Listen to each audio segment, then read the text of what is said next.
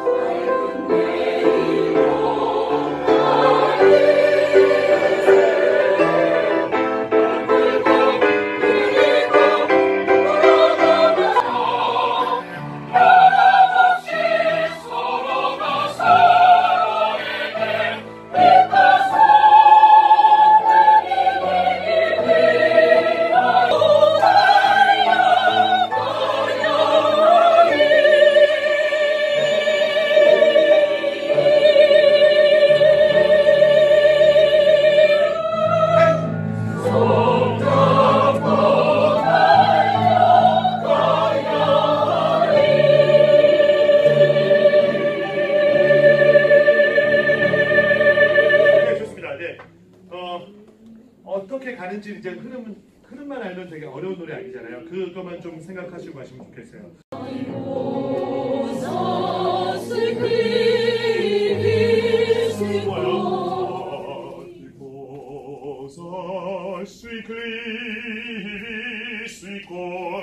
노래가 밝히죠, 그죠?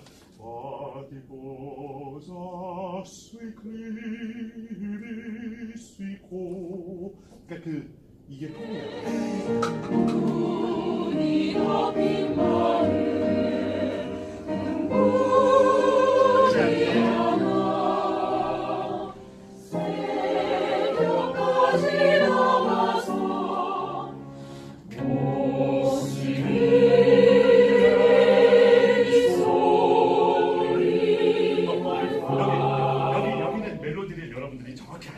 한번 들어볼까요?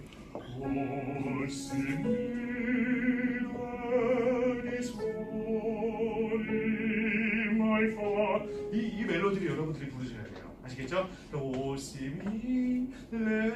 아니고 이 프레이즈를 보셔야 된다는 거.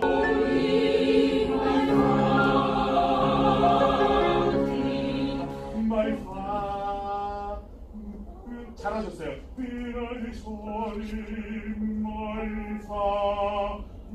파 그래야지 그 일관성 있죠?